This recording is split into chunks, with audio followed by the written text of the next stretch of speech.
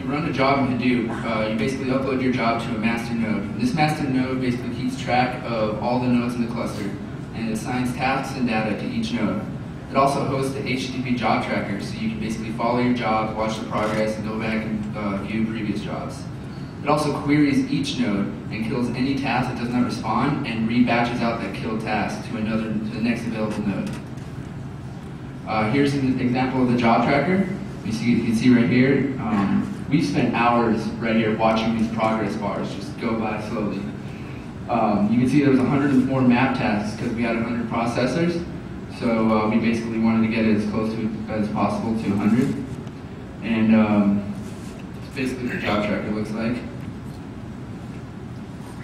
Okay, so what we talked about so far is taking an input data set, running it through the two phases, and spitting out an output data set. Um, then you have a facility called distributed cache, where you can compute against, in your mapper reducer, a second data set. Uh, distributed cache is just pretty much a network file share. You store large read-only files. Um, your mappers and your reducers receive a pointer to where the files are stored in distributed cache. Um, this is a really important one. You have to copy the file out of distributed cache into the RAM on each node. So you create a hash map in your configure method, which goes above your mapper or your reducer. Um, I had a job where I didn't, it ran for like five and a half hours and then crashed the whole cloud. Bad idea. You want to try and avoid that. So now we're going to talk about streaming. Streaming is really cool. It's basically an interface that uses standard in and standard out to stream the input and output to each node. So it basically gives you the ability to port mappers and reducers to any language that you can read from standard in and write to standard out. Um, input is read from standard in. Here's an example in Python. Um, input variable is uh, sys system.standardin, basically running through the read input function. And output is written to standard out. It uh, has to be outputted as a hash map, which is, the, which is basically a string in the form of key tab value.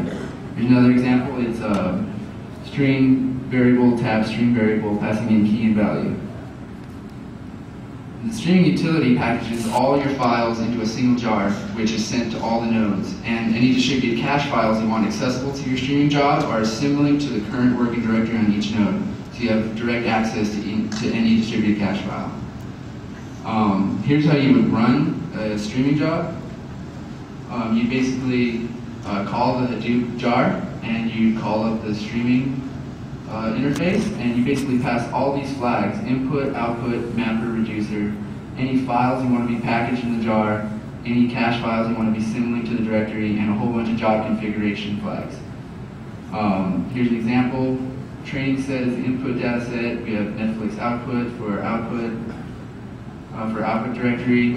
Uh, mapper is, you call it, you basically call uh, from the current, current working directory on, on each node. So in order to call PyMapper, you have to include this file and in the jar file so you're able to access it from right here. And um, you can access any executable. If there's grep on each node, you can access grep, you can access awk, you can basically access any executable from right here.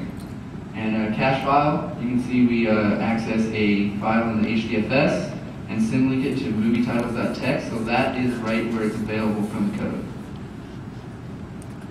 Uh, reporting and streaming. So you're using standard in and standard out to basically handle your data, you have to use standard error to communicate with the master node. Since master node kills any job that doesn't report back, uh, you have to use this, uh, you have to use a counter after every line you process, and you basically do this by uh, writing a standard error, report colon counter, and then your job name, uh, the phase, so it would be mapper in this case, and then comma one.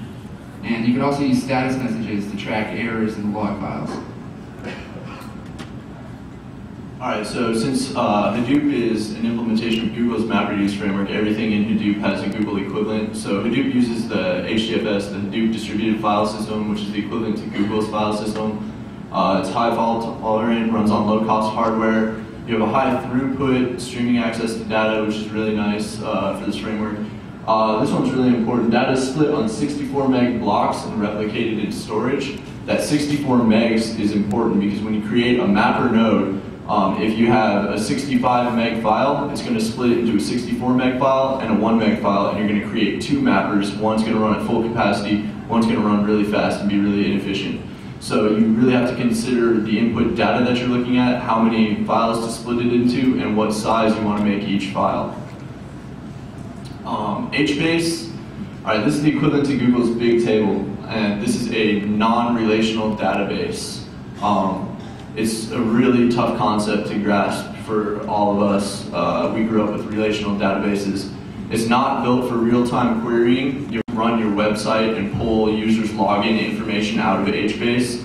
You're moving away from per user actions where you're saying take this user, link it to a bunch of tables, and pull me a field out of it, towards per action data sets. So you're saying show me all of the users who did this and give me that huge giant data set and then run that through this MapReduce program. Um, HBase distributed, multi-dimensional. Uh, it's denormalized data, so you're not worrying about BCNF or anything like that. You're not trying to strip it down. You just store everything you need with links to anything else everywhere. That's why it's really hard for us to grasp it, because we grew up with relational databases. Um, okay, so the table schema defines your column families. Um, okay, so HBase is like a database of a bunch of other databases. You have column families. You have a row key and then a column family, where inside of your column family at that cell, you have a bunch more columns. Um, and then coming down off that on the z-axis, you have uh, versions, so you can have timestamps. So like for Google, when they go scrape a web page, dump into their search engine, they grab it today. And then when they scrape it again tomorrow, they'll drop it down on the z-axis to the next version. So they can go back through time on the same data set and see the changes over time. Um, everything in the table, uh, except for the table name, is stored as a array, which uh, works with HDFS for efficiency. Uh, this is Amazon's Elastic Compute Cloud. They basically have a cloud that, um, they have a web service that you can basically go and purchase a resizable compute cloud on uh, in their data center. Uh, Hadoop is packaged as a public EC2 image, so it, it's real easy to set up. You just go to the web page, you choose how many cluster, how many nodes you want on your cluster, and you click Hadoop and you click load, and it basically dumps you into Hadoop, and you can just start writing, start running jobs. And if you want to learn more about that, you can go to their website. There's a link right there. And uh, here's some pricing they have, just for example. They charge 10 cents per hour for a basic small Linux node, and this is per node. So if you wanted 100, it'd be 10 cents times 100. And you also have to pay for storage accessing your data.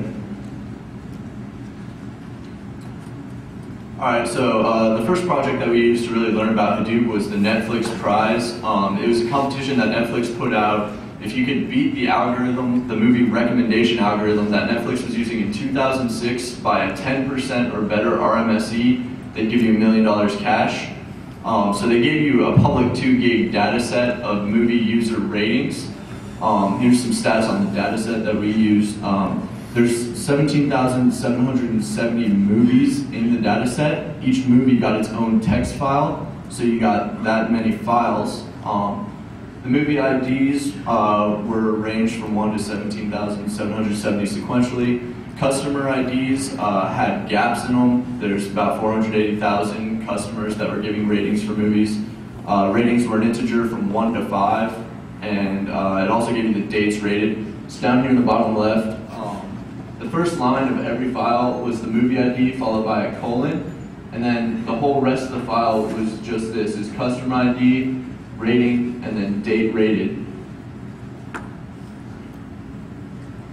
Um, okay, so the default input data set, if you just take that straight off the download and dump it into Hadoop, you're going to create 17,770 mapper nodes because it creates one node per file, which is horribly inefficient on a 100 node cluster. Um, so we needed to optimize the number of files to the number of mappers available.